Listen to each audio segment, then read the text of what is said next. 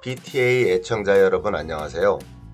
오늘은 지베레프 서브를 준비해 봤는데요.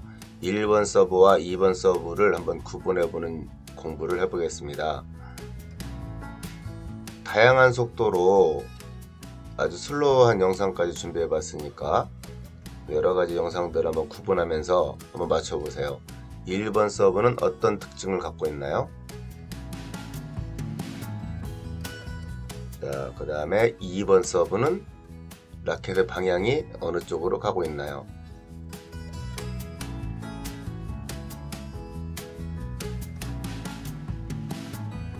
볼은 어떤 성질을 가지고 어, 바운드 되나요?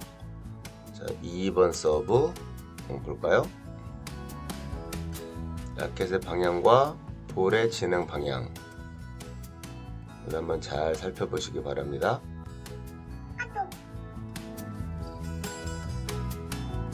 자, 1번 서브, 2번 서브 아주 느리게 보겠습니다. 1번 서브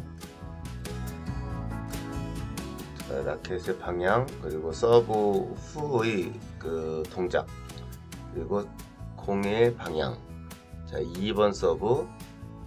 자 라켓의 진행 방향을 보고요. 그 방향에 따라서 볼이 어떻게 변화를 일으키는지 보시기 바랍니다.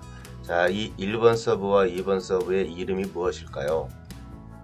우리가 보통 서브를 여러가지 이름으로 부르죠. 플랫 서브 슬라이스 서브 탑스핀 서브 킥 서브. 요즘에는 탑 슬라이스 서브도 있고요 자, 이 즈베레프 서브의 이름을 한번 댓글로 달아줘 보세요. 자, 빠른 영상으로 마지막으로 보겠습니다. PTA 시청자 여러분 안녕히 계세요.